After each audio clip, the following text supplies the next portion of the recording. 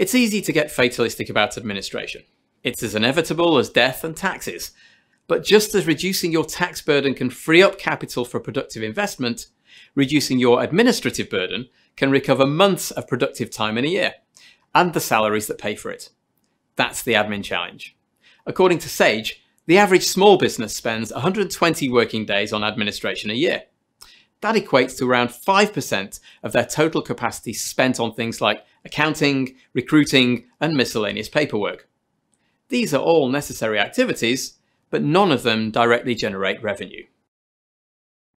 Worse, administration often goes unseen, adding up in 5 minutes of photocopying here, 10 minutes of emails there, very much part of the hidden cost of quality. It doesn't just waste time, it also casts a shadow over effective planning, as these many hidden fragments of work are extremely difficult to identify and account for.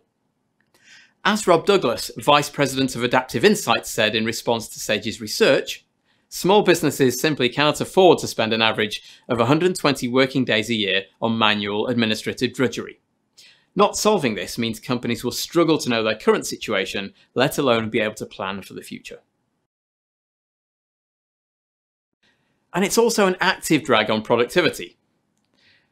The average small business spends £35,600 on administration every year, including wages and software. That money could otherwise be spent perhaps employing an additional full-time staff member. That counts a lot in a business with fewer than 10 people.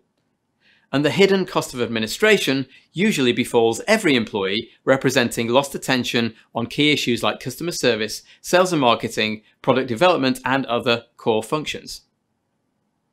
As Alex Lang, Managing Director of Sage put it, the administrative role takes up valuable time of regular members of staff who could otherwise be contributing to revenue and profitability. No one started their business with a desire to spend many hours of their time carrying out admin. But if admin is like taxes, then what can you do? Answering that question is a problem in itself. Compounding the admin challenge is actually a knowledge gap in how to overcome it. 40% of small businesses surveyed by Sage said they struggle to know how they could make the administrative cost savings they needed to be competitive. These findings have been reflected in our own research into digital transformation. Even if end users recognise the problem, they don't necessarily know how to solve it. Integrating paper into digital workflows is a good place to start.